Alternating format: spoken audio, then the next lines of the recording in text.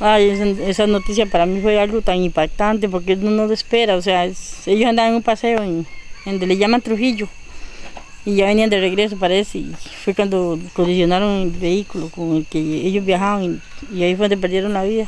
El carro donde ellos iban colisionó con otro de frente y tuvieron un choque muy fatal, ¿verdad? Este, ahí avisaron que murió mi hermana y, el hermanito mío, de, eh, perdón, el sobrino, chiquitico que ella tenía. Y la otra bebé cuando llegaron al hospital este, avisaron al ratito que había fallecido también. Entonces esto ha sido una situación muy difícil aquí para nosotros, la familia Mora Méndez, de aquí en Mollejones.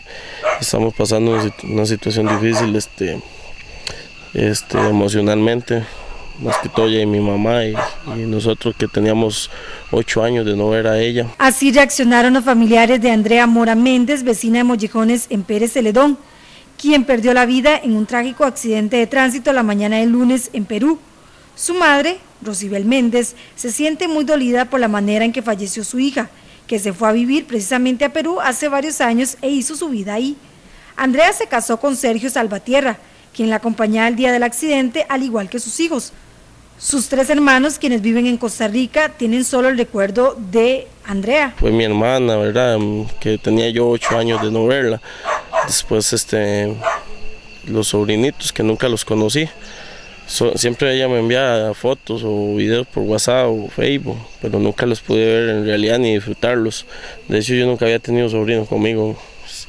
Y para mi mamá es muy difícil porque es la madre y la abuela de ellos y igual no pudo compartir con ellos y conocerlos. Entonces, este, es una situación demasiado, demasiado difícil. La familia actualmente busca el apoyo del pueblo porque no pueden traerse los cuerpos de sus familiares ya que tienen que darles santa sepultura en Perú.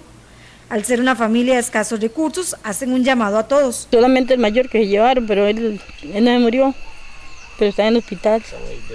Sí, el papá también. Esperamos en Dios que, que me dé valor y que todo me salga bien y que podamos regresar aquí pronto y por lo menos tener la esperanza que la vi por última vez. Y agradecerles a ustedes también de, que ponen una mano para ayudarnos a nosotros también con, junto con el pueblo de Costa Rica. Si usted quiere colaborar con esta familia, se puede comunicar al número telefónico 8989 9065.